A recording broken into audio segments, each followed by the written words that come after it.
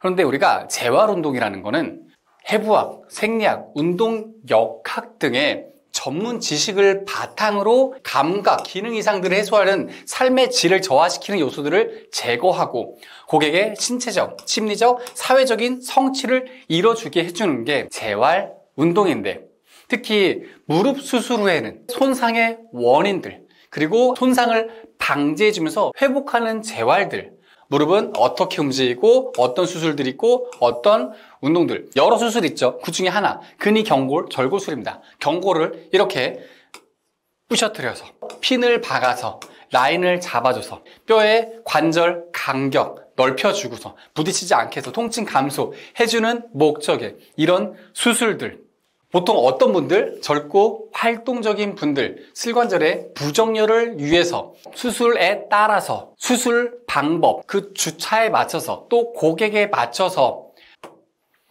브릿지 어떻게 하는지 뒤꿈치 밀기들 어느 부분에서 왜 해야 되는지 굿모닝 운동 어떤 주의사항들이 있는지 체중 부하는 발은 언제부터 목발 떼고 언제부터 할 것인지 보조기 착용은 언제 끝낼 것인지 관절 가동 범위는 어디 얼마나 각도를 만들 것인지 운동들은 주로 어떤 거 할 건지 그 시기에 맞춰서 주요 사항은 그 주차에 맞춰서 어떻게 갈 것인지 정답은 없고 병원마다 다르고 환자, 고객마다 다르겠지만 이런 원리들, 프로토콜들을 이해하시는 전문가 분들한테 수술이 꼭 성공적인 것만은 아닐 수도 있습니다. 수술 자체가 잘못되는 이렇게 뼈 조각들이 나와 있는 것들 또는 수술하고 나서 내가 보이지 않는 또는 보이는 것들 다리가 오히려 망가지게 되는 경우들을 재활을 통해서 더 잘 이쁘게 나오고 통증이 수술하고 나서 개선이 안 되더라도 재활을 잘 받음으로써 개선되는 경우들이 굉장히 많습니다.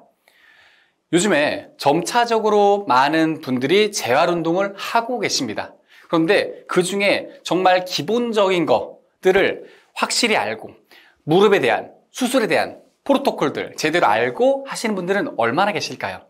여러분들 고객분들도 지금 이 무릎에 아프신 분들도 이거를 알고 있어야 되고 왜 나의 몸 상태니까 그리고 또 나중에는 내가 전문가를 만날 때 물어보고 대답을 해줄 수 있는 전문가를 만나셔서 같이 재활 운동을 하셨으면 좋겠습니다. 저희 재활, 무릎 수술 후 재활 프로토콜을 있는 강의 바디먼트에서 뵙겠습니다.